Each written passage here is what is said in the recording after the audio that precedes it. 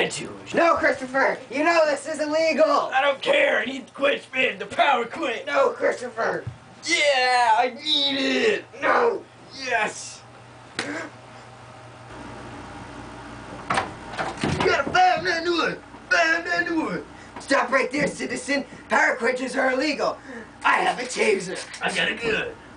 Power quencher. So good they just might be illegal.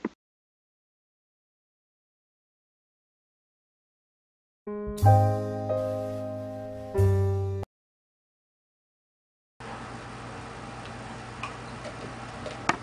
nothing like the quench. yeah.